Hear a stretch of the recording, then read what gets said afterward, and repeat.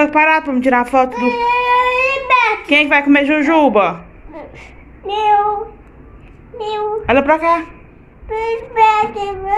Luigi vai cortar o cabelo. Ai, que tristeza. E o Berg também. Chama o Berg. Berg, senta aqui, Berg. Berg, tu sentar aqui na mesa, Berg. Tu vai fazer o quê? Diga aqui, ó. Cortar o cabelo. Que tá muito grande.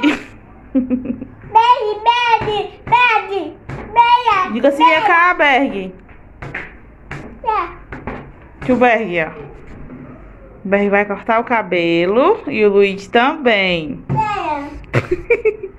Quando a gente voltar, vai ver a transformação.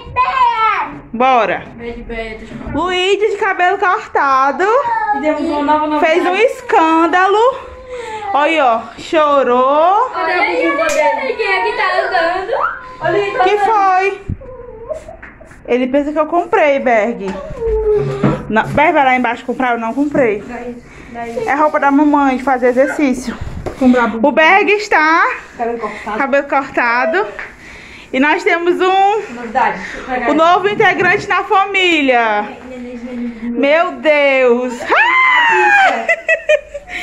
Temos um novo integrante na família. O nome dela é Pizza Lima Chocolate. Oi, gente! A gente foi cortar o cabelo dos meninos. Na porta da barbearia tinha um- uma pessoa doando cachorros. Aí a mãe doida desses meninos deixaram eles trazer o cachorro. Ainda é fêmea, gente. Eu quero ver quando Isaia chegar de noite. Ela é bem fininha. Luigi fez um escândalo. Chorou tanto. Oi, ela quer ser tua amiga. É perigoso ele dar um chute. Dá não, Belinha. Ele, ele vai dar amor pra ela. Tira o sapato. Ela tá conhecendo a casa dela. A casa dela. Vamos arrumar o meu sapato. Já já eu mostro a- a roupa que eu comprei. Pra fazer exercício. Vou logo dar, dar um banho no Luigi. Que ele tá cheio de cabelo. E vou tomar um banho. Já eu volto. Tomar banho? Não.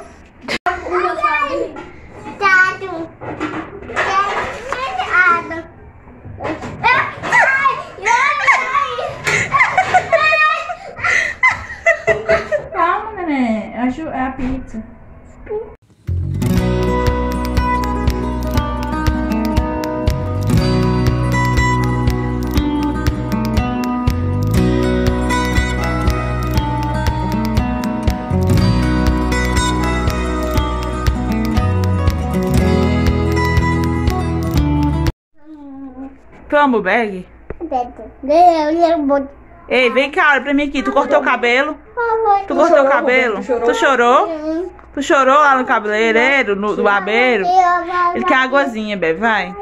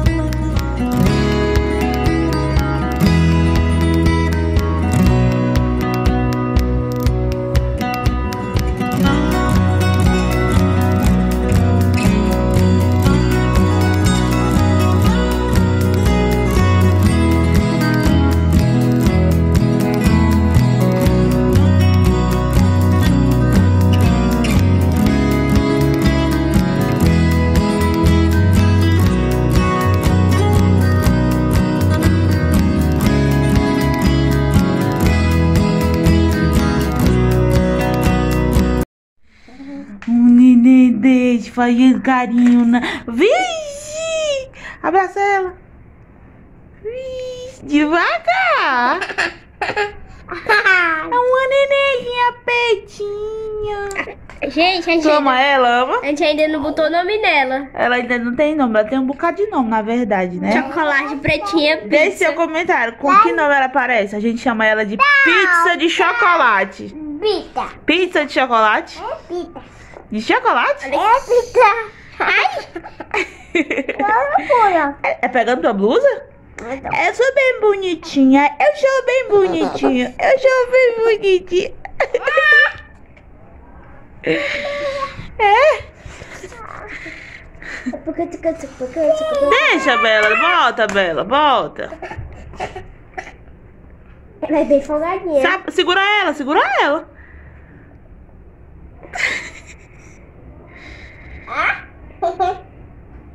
Eita, então. Tá muito. Abraça ela, abraça ela. É uma nenenzinha. Pega, Bela, ela. Pega, Bela. Tu quer segurar? Pois deixa, Bela, vai. Olha que que cara linda. Vai mais, vai mais pra longe, vai. Vai, vai, pra dentro do sofá, senta mais, vai. Vai pra aí? Daí. Dá esse copo.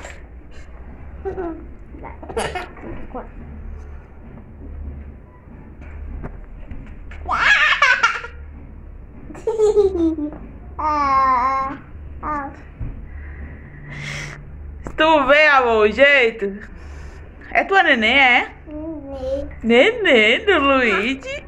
Ela faz cosquinha? Tá mesmo. Ela mordeu. Entendeu? Não mordeu não, ela é nenenzinha. Ela não tem nem fio.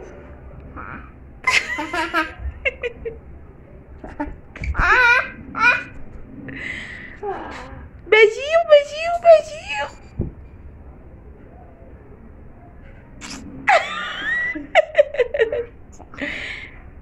Como é o nome dela? Como é? Navio. Hã? Navio. Nenenzinha? Vida. Morde ele, vai, morde ele, vai. Não.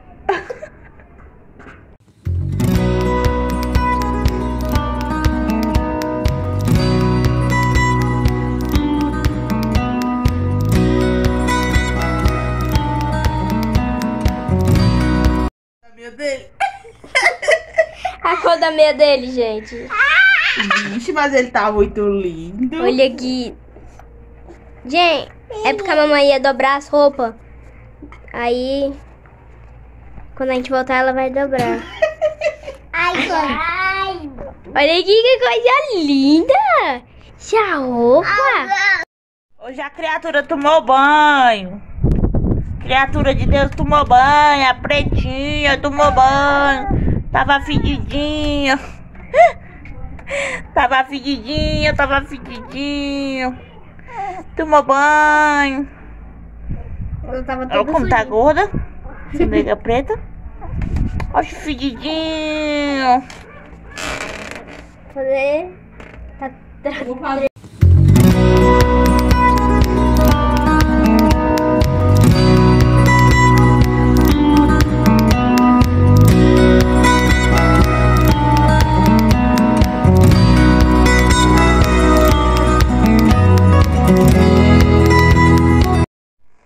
Olha só eu no espelho. Apareci pra finalizar esse vlog que começou há uma semana atrás. A cama faz zoada. Vou colocar o celular aqui, peraí. Esse vlog começou há uma semana atrás. Eu estou maquiada de novo, né? Peraí. Eu acabei de gravar. e esse vlog ele começou há uma semana quando a gente foi. Eu vou contar um pouquinho da história que eu acho que eu não contei, né? Foi só acontecendo e eu fui só gravando. É, fazia tempo que eu queria cortar o cabelo dos meninos. Tava muito grande já. O cabelo do Luigi eu tinha cortado em dezembro do ano passado. E a gente tava só esperando o momento, né? O momento, né? Pra cortar o cabelo dos meninos. E naquele dia, que eu nem lembro mais qual foi o dia, é, eu tava com dinheiro para cortar dos dois e falei com Isaías, amor, vou descer, aqui é, é apartamento, né? Amor, vou descer lá na rua e vou cortar o cabelo dos meninos. Eu não sabia onde eu ia. Tá borrando, né? É porque eu já andei chorando.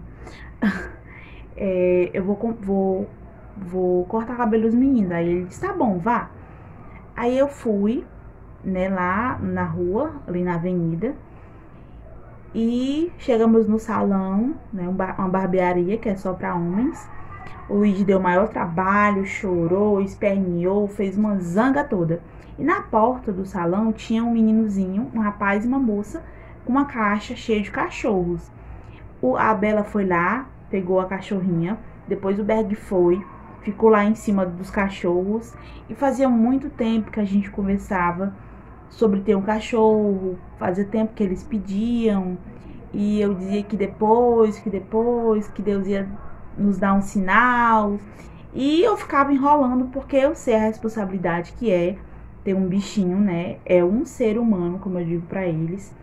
É, precisa alimentar, precisa vacinar, precisa ter shampoo, tem muita coisa. É, um, é uma pessoa, né? É um, um filho que a gente pega para criar. E quando, quando tava naquela correria, naquela, naquela loucura ali, né? Naquele momento, loucura boa que eu falo, né? As crianças com cachorro no colo e o Luiz chorando e a Bela pedindo por favor, deixa eu levar, deixa eu cuidar, eu cuido, eu cuido, eu cuido. E realmente eles cuidam, né? E eu aceitei que eles trouxessem. Não tinha falado com Isaías, mas eu sabia que ele ia deixar, né? Porque ele já falava sobre isso. Eu sei que a gente mora no apartamento, que é pequeno, e que a gente não tem condição, assim, condição, é, condição de dinheiro, né? De, de ir num pet shop caro, de comprar produtos caros. A gente não tem essa condição. Mas a gente tem muito amor e eu sei que amor não enche barriga, né? Tanto que quando a cachorrinha chegou, eu vou compartilhar com você, porque a gente compartilha tudo aqui, né? Tá com uma semana que eu não gravo, é, mas eu tô bem melhor, graças a Deus. Vamos voltar a fazer vídeo. Eu precisava desse tempo para orar, para para ficar um pouco recuada, mas já tô, tá tudo bem, graças a Deus, tá passando. E é por isso que eu tô aqui hoje, sentei para finalizar esse vlog e editar para postar aqui no canal. Então, se você tá vendo é porque deu tudo certo. É, não só com a cachorra, né? A cachorra tá, já tá familiarizada. Então, sobre o que eu tava falando, né? No dia que a cachorra veio, é, como eu tava falando, é, amor não enche barriga.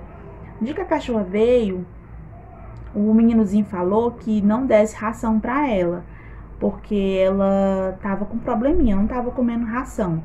Ela tem dois meses, a cachorrinha, ela é, ela é filhote. Então ele disse que a gente desse leite para ela. Eu achei foi bom, porque na verdade eu não tinha dinheiro para comprar ração. O dinheiro que eu tinha era para cortar o cabelo dos meninos. Que loucura, né? A pessoa não ter dinheiro e querer criar um cachorro. Eu sei que é loucura. Me perdoe, Senhor, me ajude. E não brigue comigo, amiga. Por favor, não me dê bronca. Foi na emoção que a gente pegou aquela cachorra. Essa é a realidade. Se eu tivesse pensado mais um pouquinho, eu não tinha pegado. Mas tudo bem. E o primeiro, primeiro dia a gente deu leite, ficou tudo bem. No segundo dia eu fui postar uma foto e, e, amigas brigaram comigo. Não dá leite, não dá leite, tem que dar ração. Leite faz mal. Mas a realidade é que a gente não tinha dinheiro para comprar ração. Mulher, que loucura. Eu tô falando isso pra tu, tô com vergonha. Mas é a realidade. É a realidade. É, e eu dizendo pros meninos, gente, pra que, que a gente pegou essa bichinha pra criar? A gente não tem dinheiro nem pra comprar ração pra cachorro. Misericórdia, meu Deus. A gente não tinha naquele dia, não tinha. Aí ele foi pesquisar na internet o que, que podia dar pra cachorro comer e viram que o que a gente tinha aqui em casa era ovo e na internet tinha dizendo que podia dar ovo cozido. Aí eu disse pra eles, vamos dar orando pra bichinha não morrer. gente, misericórdia.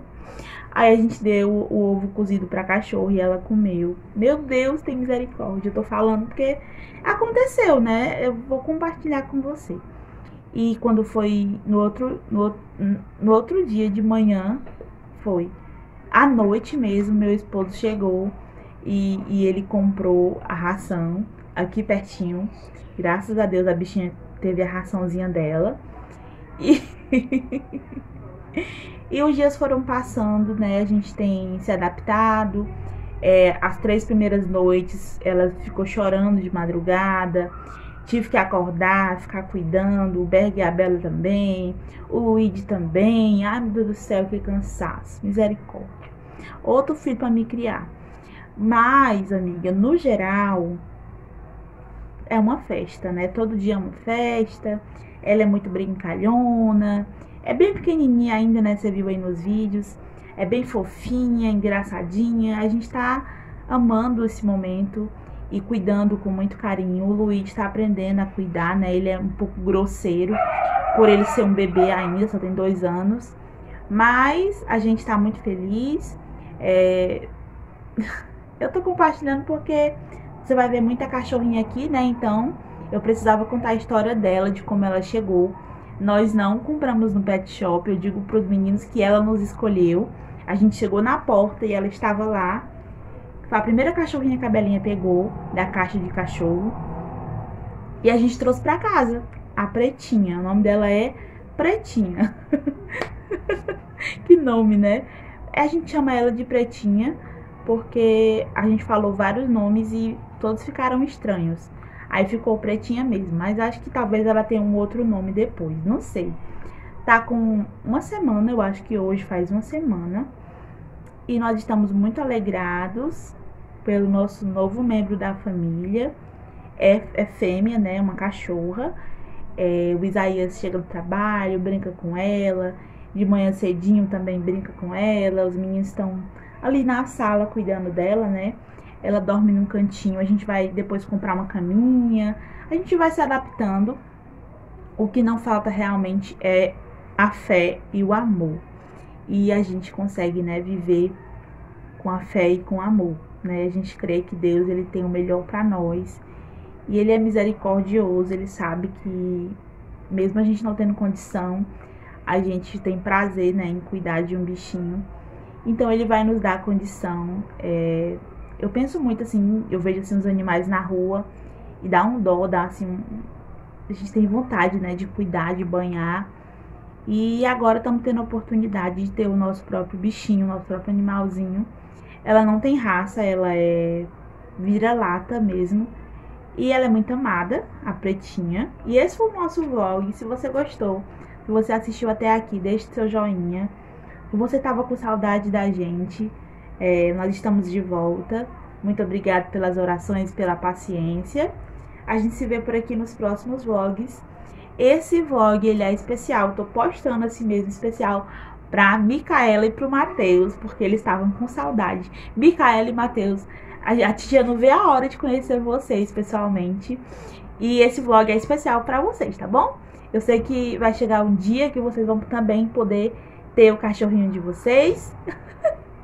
mesmo a mamãe tendo medo, a gente na maternidade, a gente ultrapassa os nossos medos, né? Eu confesso que é muito trabalho. É, eu não queria ter esse trabalho agora, mas eu faço tudo pelos meus filhos. O possível que eu puder, eu faço. E eles estavam assim, meio tristinhos, só em casa. Então, esse foi o maior motivo de eu deixar eles trazerem o cachorrinho, né? Porque eu sei que é uma companhia para eles e que eles vão crescer juntos. Então, o que eu puder fazer para alegrar os meus filhos, eu faço. Esse foi o nosso vlog. A palavra-chave vai ser amor. Hashtag amor. A gente se vê aqui nos próximos vlogs, que eu tô me borrando de novo. Deus te abençoe, abençoe tua casa, a paz do Senhor. Tchau. Cuida!